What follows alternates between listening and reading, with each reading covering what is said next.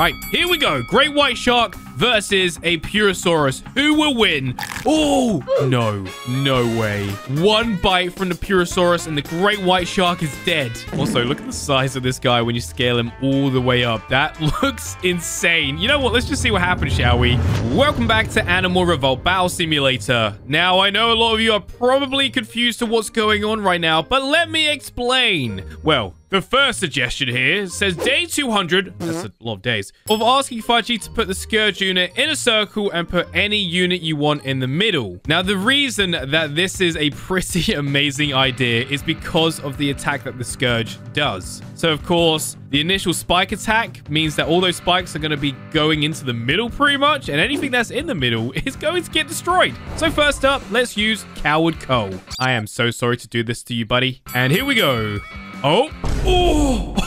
That's so many spikes. Oh, man. Why have I not done this idea sooner? This is an amazing suggestion. Next up, we have a hill giant. Let's see if he can survive. Oh, yep. I think he's still alive. Yep, he's still good. Oh, no. Now he's to get messed up by all of them. And he is down. Now, just one Scourge unit alone is extremely powerful. So imagine having all of these. Let's try a T-Rex, shall we? Let's see what happens if we put a T-Rex in the middle. I'm to assume he can survive the initial attack and then just die shortly after. Oh, here we go. Yep, now he's going to get messed up. I actually feel sorry for the units that are in the middle now. Just get absolutely destroyed. Oh, he did pretty good though, but now he is dead. Next up, we have Goro the Giant. Now getting impaled. Oh, he's escaped the spikes and he's going into attack. Oh, man, that's crazy.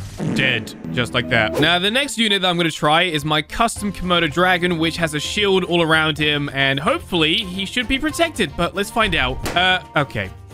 well, the armor did not help at all. And that's probably because there was no armor underneath where the spikes were coming from. So, uh, yeah, my bad. Moving on to the next suggestion. It says, day one of asking Fudgy to minimize a great white shark had some cool weapons and make him look cool to Garry's family and name him Bubbles. So here's the great white shark. I know we're not in the sea map right now, but don't worry, the shark shouldn't have an issue swimming. It, it's weird, I know, but this is OBS, and we're just going to go with it anyway. So let's remove this guy, and then we're going to scale him down to 0.5, I think. We're not going to change any of his stats because the great white shark here is already very powerful. And now the next thing we need to do is just go ahead and upgrade him. Give him armor, make him look cool, and just be a little bit more powerful. And then once we're done with him, we're going to make him fight Barry and his army. We give this guy like a helmet? Uh, no, that doesn't work. So, some time has passed, and now I present to you Bubbles. Welcome to the family, Bubbles. Proceed. So, before we see Bubbles in action against Barry's team, I thought we would make him fight a Titanoboa here. Okay, here we go. Let's see him in action. There he goes. Look at all those spikes he has. Oh, oh, oh that was insane. Oh, no. Oh, my. That is... That actually looks incredible. The way the snake was just wrapping around the great white shark there. I wonder who's winning, though. I can hear the snake is getting impaled quite a lot from all the small spikes around the shark. I do quite like how he looks, though. Like, there's not too much armor going on with the shark, but he has plenty of extra weapons to help him out in the battle. I've gone for a kind of like a blue and silver theme. Trying to stick to the colors here. Oh, he's being wrapped around again. Right, let's check on the health, shall we? Oh, he is massively winning. Yep, and just like that, the Titanoboa is down, defeated by Bubbles. I love the way he just flies around. So, now that we know he works and that he is a powerful unit, let's see him in action with the rest of his family. So, this right here is all of Garry's family and pets. And then on the other side, we have Barry and his team. So here's Barry, as you can see. Now, there's a lot more animals on Garry's team, but Barry's team is still very powerful. So let's see what happens now, shall we? Let the war begin. Here we go. Come on, Parrot. Yes, do some damage to Barry. That's it. All right, where's Bubbles, the new unit? Where is he at? There he is. Yeah. Oh, what? He's got the Komodo dragon or something? I'm not too sure what's going on. Oh, man, it's a real mess. what is happening? This is crazy. There's so many battles going on right now. But I do have very high hopes for Garry's team. I feel like they can win, especially with a new addition of Bubbles, who is actually dead. And not to mention, they've got the Hydra on their team, which is stuck on a tree. Oh no, the big brother. He's been injected with venom by the looks of it from, I think it's Mr. Nibbles. Okay. Oh, look at the Titanoboa. Uh, okay. I'm starting to maybe Garry's team might be losing a little bit. I'm not too sure. The worm is still alive over there. Yeah, I'm really not too sure. I think this is the cousin here. He's still doing some damage. Um, Karen? Karen, what are you doing? What's up with Karen? I think I think she's dead. Yep, she's dead. And that's uh, Barry's stepmom, right? oh, poor Bubbles. All right, what's going on over here? Oh, okay. They're, they're just trying to attack the, the worm. But because it's flying, they can't do anything about it. Come on. We need the worm to come down. Stop grappling the units. All right, anyway, let's leave them to it. And let's head back over here to see what's going on. The Hydra is chomping down on a T-Rex by the looks of it. Uh-oh. Here comes the T-Rex. Hey guys, you might want to step away from the worm because there's a tiny T-Rex inbound. Oh no. All right, here we go. Oh! and it's dead. Great. So these are the survivors. You know what? I'm going to help out Garry's team just a little bit because they've basically won already. But if I just go ahead and do this, use the camera to move the worm. Uh, all right, so it's it's not working, but you can clearly see that Garry's team has won, other than the worm. But the worm's stupid, just won't move. And now, welcome to the ocean, where this fella is about to be upgraded in a bit of a weird way. Because this next suggestion says upgrade an orca with just spikes. So I've actually done this before with other units, and it's been really weird. They end up being quite powerful because obviously they're just filled with spikes, so the enemies can't actually attack them very easily. But now that we have the new update from the latest UBS update, I don't know what I'm saying, take two. But due to the aquatic update from the last... Oh my god, what is wrong with me today? Take two, three, four. But because of the last UBS update, which of course was the aquatics update, we can actually put spikes on different fish. So uh, this this could take a little while, but um, yep, here we go. Spiked orca. So this is where we are so far with the creation, and it already looks pretty crazy. I can't wait to see what this thing is like in actually in action. Like, is it actually gonna work? I don't even know. Oh, maybe let's add some spikes from the fins pointing forward. I think that could work really well. That way we can just straight away impale the enemies. And I am done. I have no idea how many spikes are on this unit. I have no idea if the Orca will even be able to swim or anything like that. But the first enemy that we're going up against is the Piranha, where we actually have a, uh, a small army of them over here. So let's see what happens. Oh, so far so good. It can swim just fine. And there's no lag as well. All right, so they're going to try and eat me alive. And um, I think they actually might be getting through the spikes, which is a little bit worrying. I hope we're okay. Let me check on my health real quick. Oh, I'm actually doing okay, to be fair.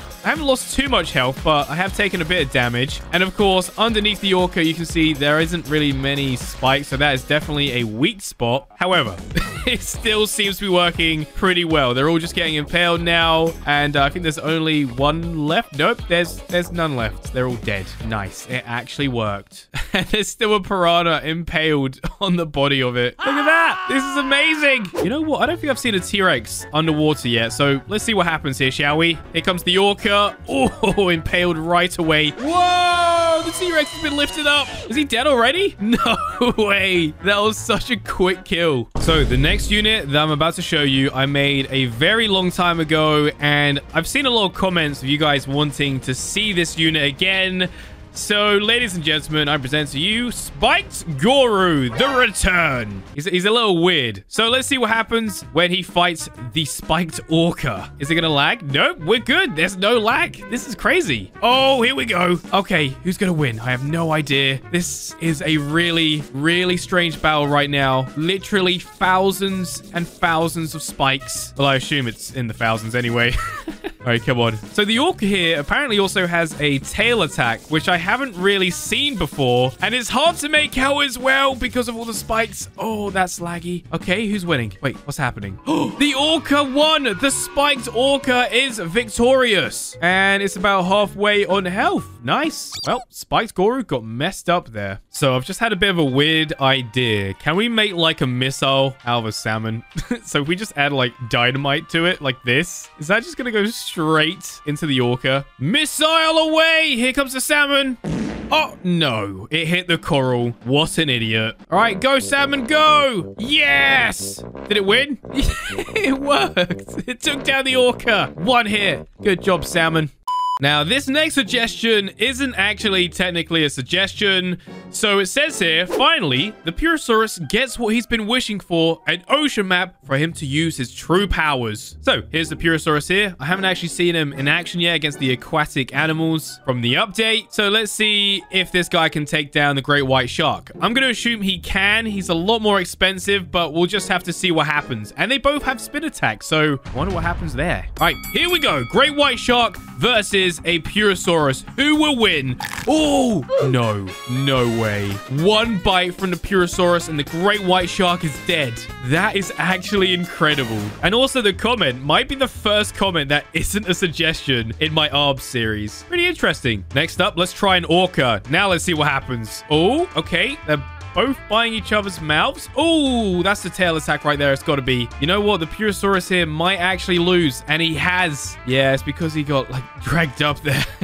That's probably why. But I think we should spice things up and get the Megalodon shark back. And we're also going to increase the Purussaurus size, even though it's already a monster. Also, look at the size of this guy when you scale him all the way up. That looks insane. You know what? Let's just see what happens, shall we? All right, Purussaurus versus the Megalodon shark. Oh, they appear to be kissing. Wait, what?